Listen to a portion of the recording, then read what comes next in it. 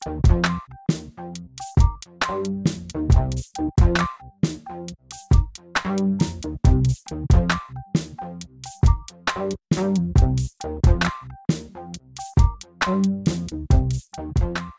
كويس جدا وبنفهم كلامه ويعني شخصية كويسة ومحترمة يعني جدا.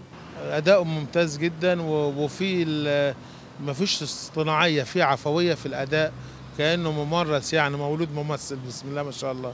كممثل شاطر جدا. كممثل بيقدر يأدي وبيقدر يعني يجيد التمثيل بطريقة وطلع طلعة جامدة جدا في الفترة الأخيرة. حتى السيزون اللي هو في رمضان ده طلع بشكل قوي جدا. بدأ بأدوار بسيطة وبعد كده بدأ يعلي ال- المستوى أعلى وأعلى لحد دلوقتي إن شاء الله. وأنا أتوقع له إن هو هيبقى نجم الموسم في رمضان ده إن شاء الله. لا أداؤه جيد جدا. وهو ممثل محترم وتمثيله كويس جدا يعني.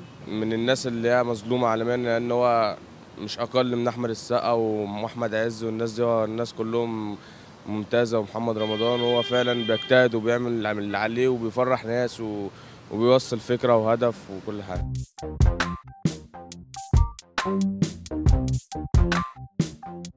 مش من حق أي حد إن هو ينتقد يعني عشان حاجة هو ملوش ذنب فيها يعني مثلا. لا طبعا حاجة تضايقني إن دي حاجة غصب عنه يعني حاجة بتاعت ربنا. مسلسل لا تطفئ الشمس كان مش مش مفهوم منه كلام شوية كان في كلام بيقطع منه وفي حاجات ما بعرفش يفهمها عشان كان في في حاجات عنده غلط. بس في ولد الغلابة كان عادي. بدأت تتظبط شوية. هي اللي عطيه له ميزة وعطيه له امتياز في التمثيل. مش عيب خد بالك وعسى أن تكرهوا شيئا وهو خير لكم. الحاجات البسيطة اللي هم عمالين ينتقدوه فيها ديت أنا شايف إن هي ديت بتقدر تعدي يعني مش اللي هي توقع الممثل قوي. هو ككادر ممثل هو راجل قوي جدا. ما لهمش حق. هم أكيد ما لهمش حق. يعني هو أصلا حتى مش مضطر إن هو يعتذر يعني. وصل لك؟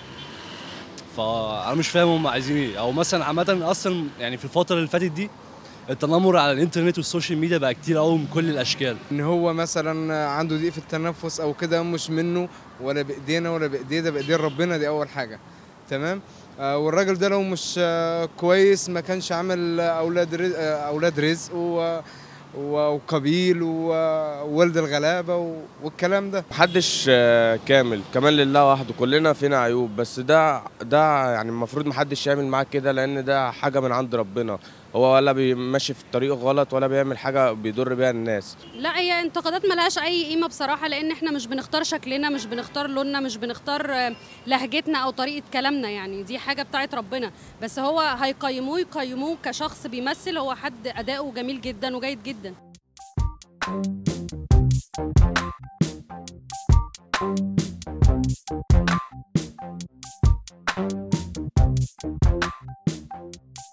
Thank you. Thank